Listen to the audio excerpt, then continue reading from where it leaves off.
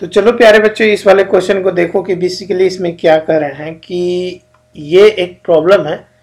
इस प्रॉब्लम में हमें इरोडोप का जिसमें सेटेलाइट है और सेटेलाइट जो है, वो ईस्ट से वेस्ट जा रही। एक्चुअली जो अर्थ है, वो वेस्ट से ईस्ट जाती है। वेस्ट से ईस्ट मूव करती है, अगर ऐसे आप देखोगे। तो अर्थ की एंगुलर वेलोसिटी में ओमेगा वन ले लेता हूँ अपनी एक्सिस पे।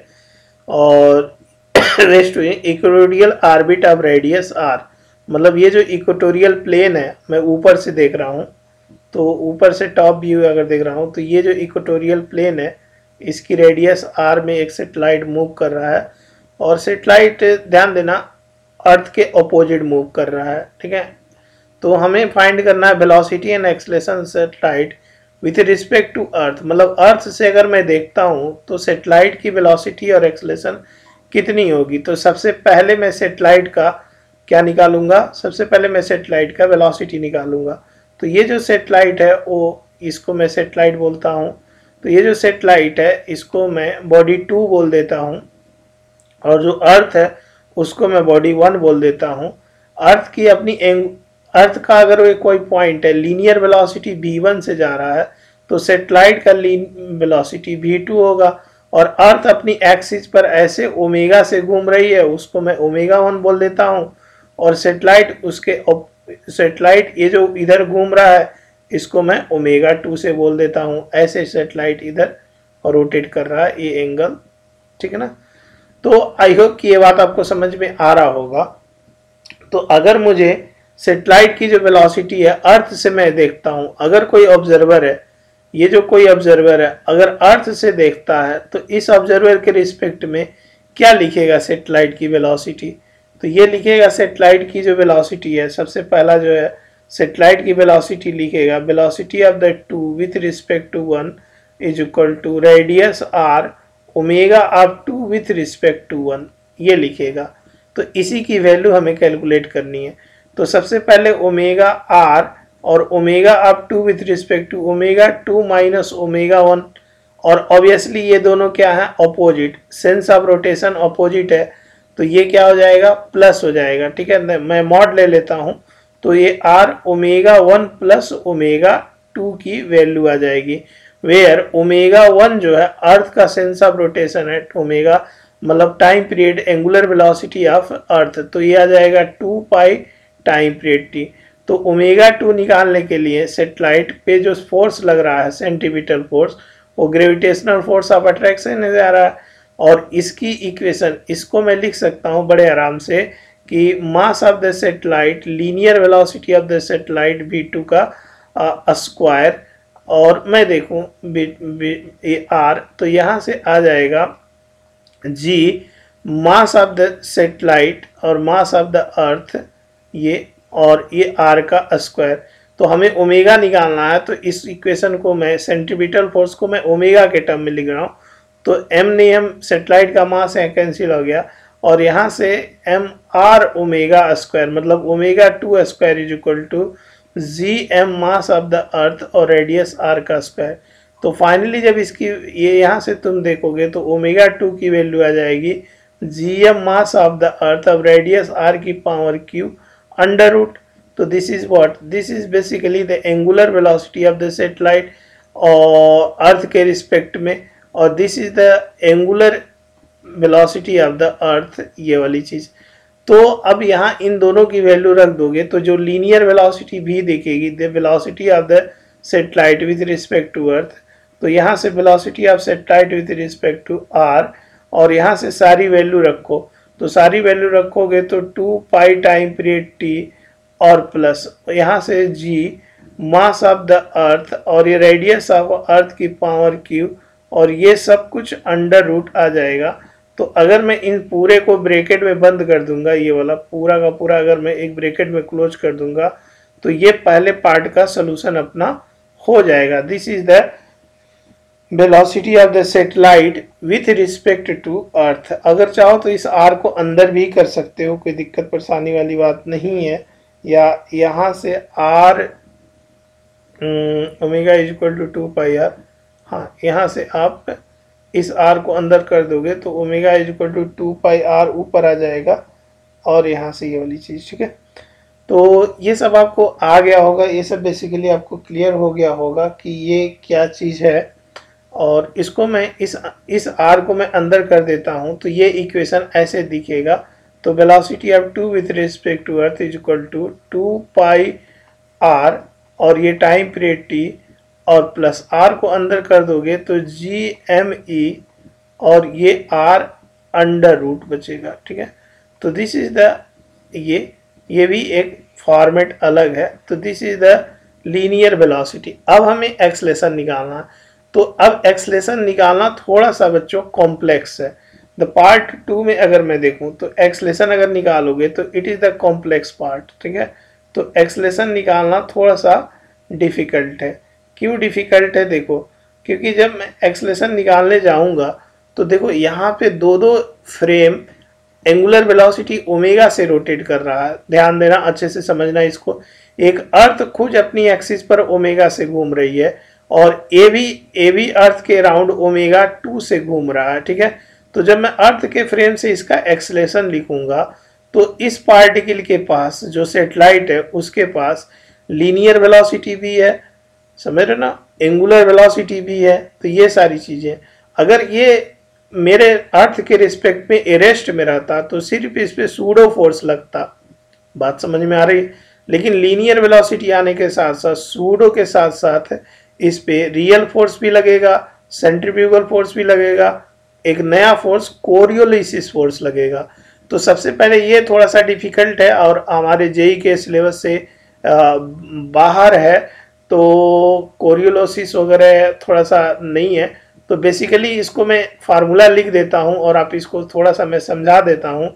तो जब कोई बॉडी अगर एक फ्रेम है, इस फ्रेम से, ये फ्रेम है और ये फ्रेम अपनी एक्सिस पर ओमेगा से रोटेट कर रहा है, ठीक है?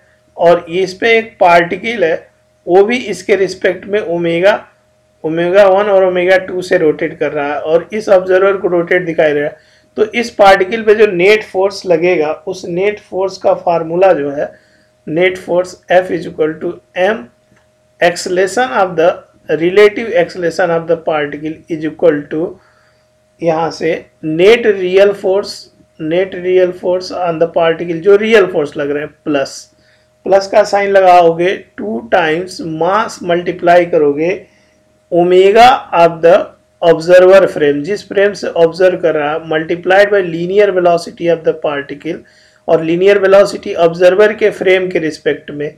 बात समझ में आया? प्लस मल्टीप्लाई करोगे एम टाइम्स और यहाँ से omega cross omega cross linear velocity position vector of the particle ये वाली चीज़ और ये ब्रेकेट बंद करोगे। अब हमें चाहिए, देखो, ये यहाँ जो ओमेगा है पेशेंस रखना, ये एक बॉल ऐसे घूम रहा, अर्थ ऐसे घूम रही है ओमेगा वन से और दूसरा ऐसे इसके ओमेगा टू से घूम रहा है, समझ रहे ना? तो ये जो ऑब्जर्वर है, अपने अर्थ पर है तो यहाँ जो ओमेगा यूज़ हो रहा है इस इक्वेशन में, और जो वेलोसिटी लीनियर हो रही तो लीनियर वेलोसिटी तो रिलेटिव हो जाएगी, और ओमेगा इसमें ऑब्जर्वर का फ्रेम होता मतलब अर्थ का आएगा, ठीक है? तो हमें एक्सलेशन चाहिए तो इस इक्वेशन को मैं एक्सलेशन के टर्म में लिखूं तो रिलेटिव जो एक्सलेशन जो हमें चाहिए, वो अगर मैं देखता हूँ वेक्टर फॉर्म में तो यहाँ से तुम देखोगे तो यहाँ से नेट फोर्स था तो नेट एक्सलेशन और multiplied by two times omega of omega cross R omega of earth और ये velocity of the satellite with respect to earth ये वाली चीज़, और प्लस मास यहाँ से कैंसिल हो जाएगा, और ओमेगा क्रॉस ओमेगा और position vector of the particle और ये आ जाएगा ओमेगा ऑफ़ अर्थ ये सब ओमेगा ऑफ़ अर्थ है। तो यहाँ तो ये वाली जो फोर्स ये फार्मूला तुम्हें याद होना चाहिए। ध्यान रखना इसमें एक और फोर्स आता है, अगर ओमेगा वेरिएबल हो तो वो तो बहुत डिफ़िकल्ट हो जाएगा। तो यहाँ पर ये वाला जो टर्म आ जा रहा है हाँ फोर्स इसमें से कौन कौन से हैं कौन कौन कैसे उसको मैं बता दे रहा हूँ। जो एफ़ नेट यहाँ आया है F net that is basically the net real force real net real force net real force like friction normal etc ये जो लग रहा है पार्टिकल पर, उसकी वैल्यू है। बात आ रही है समझ में। और जो टू टाइम्स एम और ओमेगा क्रॉस भी ओमेगा क्रॉस भी आया है पार्टिकल पे, ये वाला तो ये पार्टिकल की इसको हम बोलते हैं कोरियोलिसिस कोरियोलिस्पोर्स कोरियोलिस्पोर्स और इसको हमें याद करना पड़ेगा। और ये जो आता है था M omega cross omega cross position vector ये वाला जो है, ये एक अलग सूडो फोर्स है, इसको हम सेंट्रीफ्यूगल फोर्स बोलते हैं। तो सेंट्रीफ्यूगल फोर्स तो हम पढ़े हैं, लेकिन कोरियोलिसिस फोर्स हम लोग किसी दूसरे वीडियो में इसका वीडियो बना दूँगा। तो ये वाली चीज़। अब इन सबको थोड़ा सा ये तो मास्टर फार्मूला है, ये मास्टर फार्मूला रिमेंबर इट ये आपको रिमेंबर थोड़ा सा मैं इसको यहाँ पे समझाता हूँ, ठीक है ना? तो अब ओमेगा क्रॉस आर देखो, अगर पार्टिकल ये अर्थ है तो अर्थ तो ओमेगा से अपने ऐसे रोटेट कर रही है तो ये ओमेगा ऊपर गया, ओमेगा की डायरेक्शन ऊपर है तो यहाँ ओमेगा ऊपर आ गया, और ये जो पोजीशन वेक्टर आर है, वो ये vector R position vector R इधर आ गया, और यहाँ से ओमेगा क्रॉस जब omega cross position vector R cross करोगे तो वो बोर्ड के, देखो, ओमेगा ऊपर है तो ओमेगा क्रॉस आर करोगे तो ये बोर्ड के अंदर इधर चला जाएगा इन साइड द बोर्ड चला जाएगा और यह जाएगा ओमेगा क्रॉस आर फिर जो ओमेगा क्रॉस आर आएगा, ठीक है, जो ओमेगा क्रॉस आएगा, उसके साथ ओमेगा करोगे तो दोबारा इधर निगेटिव आ जाएगा। बात समझना माइनस आ जाएगा आई कैप ठीक है? दूसरी दूसरी बात है तो इसलिए ये वाला जो टर्म है, इधर, ये वाला जो टर्म है, ये ये वाला जो टर्म है, वो निगेटिव आएगा यहाँ पर, ठीक है? और जो ओमेगा ऑफ़ अर्थ है और रिलेटिव वेलोसिटी जब मैं अर्थ के रिस्पेक्ट में देखूँगा तो ये अपोजिट में घूम रहा है। तो अपोजिट में घूम रहा तो ये जो रिलेटिव वेलोसिटी है, ये सेटेलाइट का, वो इधर है टू है। अगर अगर ये सेटेलाइट का कोई पॉइंट बी अर्थ की पॉइंट बी वन उधर है तो ये इसके अपोजिट वी टू इधर है। तो जब मैं वी टू क्रॉस समझ रहे ना? V two cross V two cross omega करूँगा तो वो इधर ही आएगा पॉजिटिव आएगा आई कैप ठीक है? तो भी ओमेगा क्रॉस बी टू करूँगा तो ये पॉजिटिव आएगा। तो इस इक्वेशन को मैं रीअरेंज अपने यहाँ के गिवन सिचुएशन के हिसाब से मैं लिखता हूँ। तो नेट एक्सलेशन जो रिलेशन है फाइनली अब जो बनेगा, उसको मैं लिखता हूँ। ये जो एक्सप्रेशन है तो इस एक्सप्रेशन पे नेट जो फोर्स लग रहा है, इस पर अर्थ का तो नेट एक्सलेशन जो अब बचेगा रिलेटिव एक्सलेशन तो G M E mass of the earth और आर का स्क्वायर, ठीक है? तो ये एक्सलेशन लगने लगेगा। Plus two omega of the earth यहाँ से आ जाएगा और velocity satellite with respect to earth आ जाएगी। और यहाँ माइनस आ जाएगा, जैसा कि मैं बताया, और सेंट्रीफ्यूगल एक्सलेशन ओमेगा आर का स्क्वायर। तो यहाँ से जी एम और आर का स्क्वायर इधर आ गया plus two omega is equal to two pi T और relative velocity of the satellite with respect to earth पहले ही हम निकाल चुके हैं, कितना आया था? तो वो आया था, देखो, वो आया था two pi R two pi R T plus G M E और आर की पावर यहाँ से टू पाई हाँ देखो ये टू पाई टी अगर आर यहाँ नहीं लिखते हो तो कोई दिक्कत वाली बात नहीं है। ये, यहाँ से ये आर जो अभी हम लोग निकाले थे, वो वही वाली वेलोसिटी जो हम पहले वाले क्वेश्चन में लिखे थे, ये आर और ये आर यहाँ मल्टीप्लाई हो गया था, और ये माइनस ओमेगा ओमेगा अर्थ मतलब two pi T under root का होल का स्क्वायर तो यहाँ फाइनली जब कॉमन लोगे तो इस एक्सप्रेशन को सॉल्व करो तो G M mass of the earth और आर का स्क्वायर प्लस यहाँ से टू पाई टी उठा लो। तो टू पाई टी यहाँ से उठा लोगे। तो टू पाई टी यहाँ से और टू अंदर घुसा दो यहाँ से और आर इधर से मल्टीप्लाई कर। तो ये फोर पाई आर इधर से मर गया टी और प्लस यहाँ ये जब आर अंदर आ जाएगा तो टू इधर बचेगा और ये टू और ये G M E G M E R under root ये बचेगा क्योंकि यहाँ आर की पावर क्यू था। तो ये क्यू था और ये माइनस यहाँ से आ, जो है वो टू पाई आर यहाँ बच गया और टी क्योंकि एक उठ के उधर चला गया है। तो यहाँ से G M E over R मेरे भाई कैलकुलेशन तुम खुद किया करो। तो टू पाई टी और यहाँ से four pi two pi multiply करोगे।